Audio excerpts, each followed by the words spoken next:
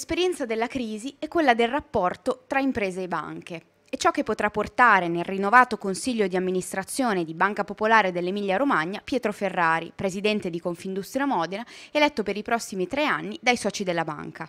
In cinque anni ho vissuto delle esperienze diciamo, aziendali molto complicate, molto difficili, ho acquisito, io la chiamo la sofferenza e la notte eh, triste di molti imprenditori. Un'attenzione alla sofferenza e al tema del lavoro che spetta alla banca approfondire. In questo momento il Paese è in difficoltà. La Banca Popolare dell'Emilia Romagna, per la valenza che ha nei territori, per il sistema di occupazione, per l'economia che sottintende, è un punto cardine su cui noi dobbiamo fare riferimento. Con un occhio di riguardo per il credito alle imprese che hanno buone idee per il futuro del Paese. Non potrà certamente dare credito a chi non ha merito di credito, ma naturalmente guarderà con un occhio benevolo chi ha questo merito o ha una visione strategica del proprio futuro che si può che può essere coincisa con una buona economia.